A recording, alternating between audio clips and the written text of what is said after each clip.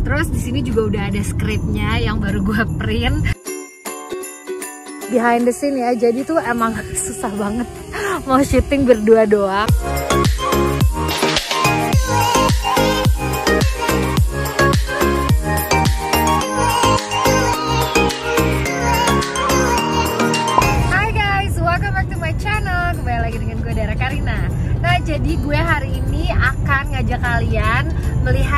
Behind the scene kehebohan karena hari ini gue mau syuting buat keliling dunia. Nah, ini semua skripnya dan semua barang-barang udah siap. Gue bawa jaket dua, semua ada di bagasi, drone, kamera. Pokoknya heboh deh. Nah teman-teman bagi kalian yang belum sempat nonton kemarin di Trans 7 Jadi Dara sekarang mau ngajak kalian nih ngeliat lebih deket dari behind the scene-nya sampai cuplikan-cuplikan video yang sempat juga ditayangkan di TV Nah penasaran kan? Yuk Nah lo itu akhirnya kita udah nyampe di Triberg di Black Forest. Terus aku pengen cerita sedikit nih tentang Black Forest. Kalau kalian di Indonesia pasti pernah dengar kata-kata Black Forest Pasti langsung ingetnya kue kan? Nah kalau di Jerman itu adalah sebuah wilayah area Dan lokasinya ada di, di barat daya Jerman. Jalannya licin banget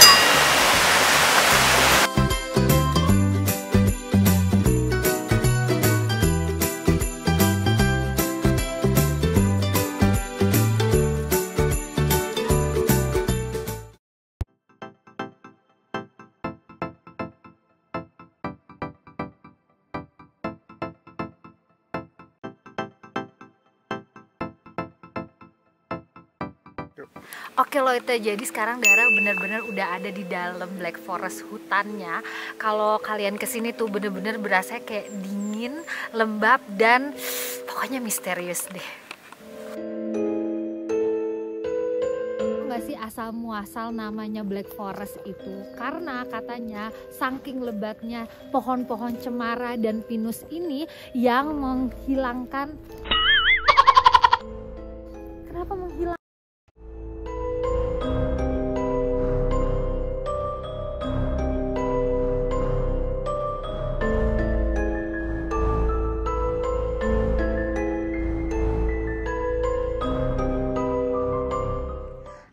makanya katanya kalau misalnya kalian lagi berkunjung ke sini, jangan lupa ngafalin jalan karena kalian bisa tersesat.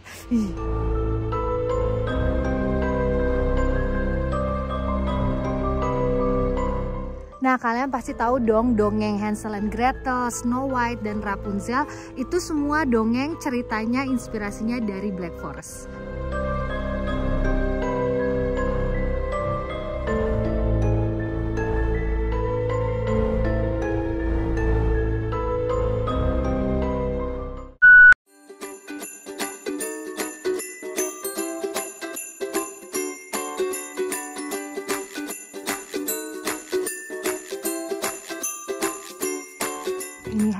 Harganya 3,95 euro.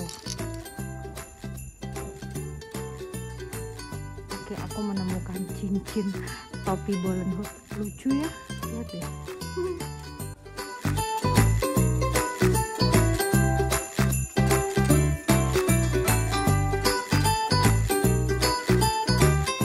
Oke lah itu aku akhirnya jadinya belanja deh karena kebetulan kakak iparku itu ulang tahun jadi kita mau beliin ini. Dan harganya lagi diskon. Cuma 5 euro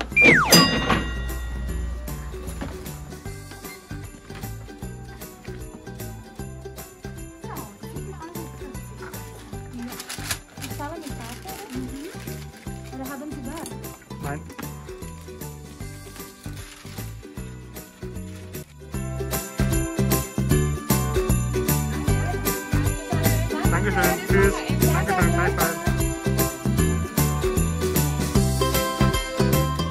Lah itu jadi sekarang Dara mau kasih tahu total belanjaan souvenir kita tadi di Black Forest. Jadi yang pertama kita belanja 7 euro 40 sen dan yang kedua itu 3 euro 39 sen. Jadi totalnya sekitar 10 euro 79 sen. Nah itu setara 180 ribu rupiah. Jadi nggak terlalu mahal ya. Jadi cheffer ini yang pertama kali menemukan resep si black forest. Jadi yuk kita langsung masuk.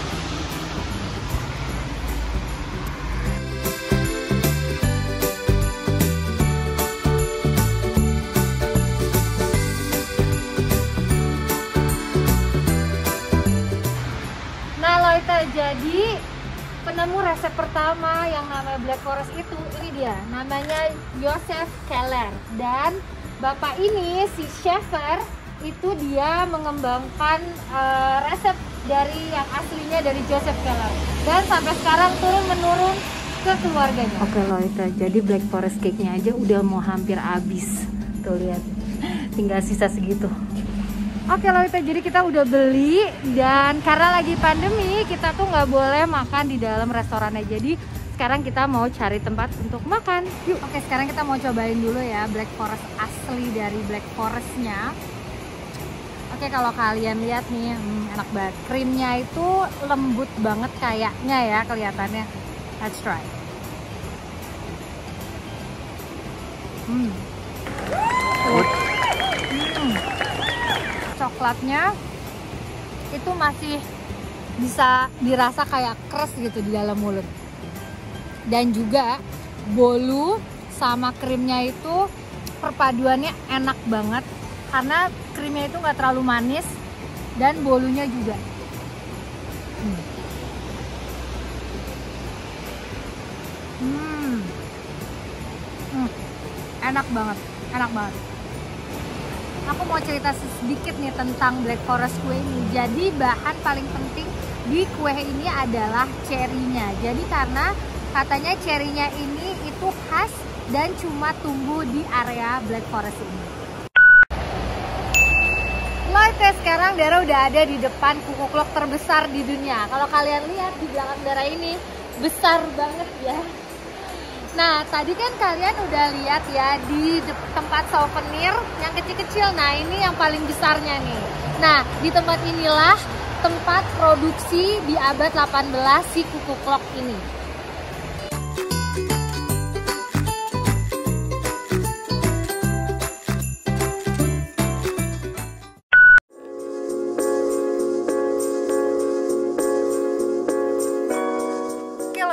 Jadi di sebelah kiri bagian aku ini adalah negara Jerman. Dan yang ada di depan aku di sana itu negara bagian Prancis. Dan sekarang kita mau ngelewatin jembatan ini untuk nyampe di negara Prancis. Cuma butuh 5 dan juga kalian jangan lupa bawa dua currency ya karena currency di Swiss adalah Swiss franc dan Jerman dan Prancis adalah euro. Nah makanya tiga negara ini punya gabungan airport namanya Euro Airport Nah kalau kalian mendarat di airport ini kalian harus tahu mau ke mana keluarnya. Karena kalau kalian salah keluar kalian bisa keluar di negara lain. Nah bagi kalian yang mau jalan-jalan ke Eropa tapi nggak punya waktu banyak tapi pengen mengunjungi beberapa negara sekaligus, nah ini adalah tempat paling ideal. Karena teman-teman nggak perlu menjelajahi Eropa dengan pesawat terbang atau kereta api jadi kalian udah bisa langsung ngeliat tiga negara dalam satu tempat sekaligus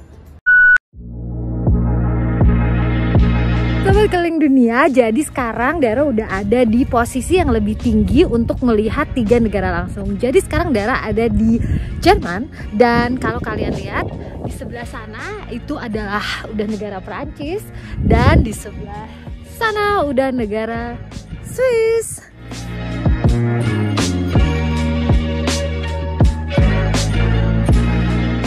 Sepatu udah sangatlah bersih ya ya sudah lah ya Oke, jadi karena hari ini adalah tambahan syuting jadi gue nggak makeup sama sekali jadi gue pakai kacamata aja karena gue lagi jerawatan jadi ya sudah lah ya. ada yang lagi berkuda di sana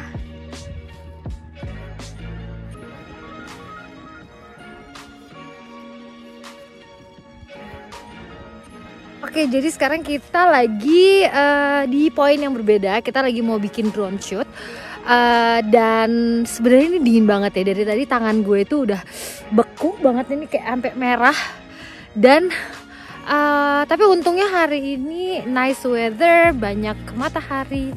Dan ini bapak kameramen habis ngambil baterai di mobil Nah teman-teman thank you so much yang sudah nonton semua behind the scene dan juga cuplikan-cuplikan videonya.